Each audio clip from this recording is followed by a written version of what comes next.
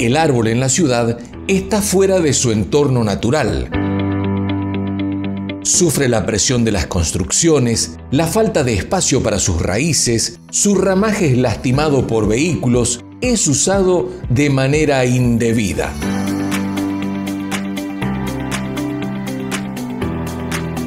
De todas las agresiones sufridas por el árbol en la ciudad, la más grave es la poda. Algunas veces estas acciones son tan devastadoras que comprometen seriamente la sanidad y el futuro del árbol. Las podas están prohibidas a los particulares y reservadas exclusivamente al personal municipal. Protejamos nuestro arbolado público. La consigna es Cuidar. Área Cuidado del Espacio Público. Intendencia Bruno Cipollini.